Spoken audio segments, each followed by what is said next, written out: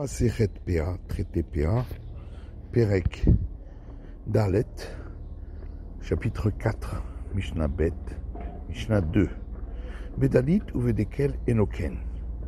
Pour euh, une vigne grimpante ou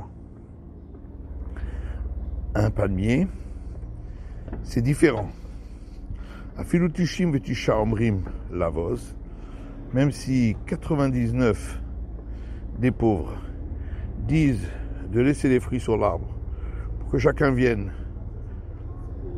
en prendre pour lui, et un dit que le propriétaire descend les fruits de l'arbre et les partage entre les pauvres, la Zeshomrin, c'est ce dernier qu'on écoutera chez Amar Kahalacha, car il a dit ce qui est juste selon la règle.